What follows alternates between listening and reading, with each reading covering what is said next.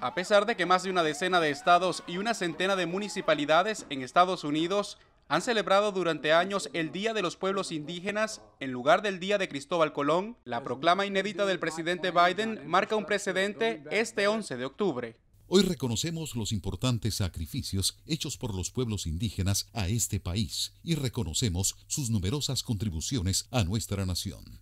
El mandatario también emitió una proclama por el Día de Cristóbal Colón, establecido por el Congreso como un feriado desde 1934. Biden recordó el encuentro del explorador italiano con lo que más tarde se conocería como el continente americano, las contribuciones de millones de italiano-estadounidenses y también la historia de la conquista europea. En este día reconocemos este pasado doloroso y volvemos a comprometernos a invertir en las comunidades nativas, manteniendo nuestros compromisos solemnes y sagrados con la soberanía tribal y persiguiendo un futuro más brillante, centrado en la dignidad, el respeto, la justicia y las oportunidades para todas las personas. Realmente ya era hora para la boliviana Julia García, quien emigró con sus raíces de la cultura quechua a Estados Unidos hace más de cuatro décadas, el reconocimiento es un paso de muchos que asegura hacen falta para promover la equidad y las contribuciones indígenas. Pero para eso necesitamos las acciones comunitarias, las comunidades tienen que unirse, tiene que haber una especie de motivación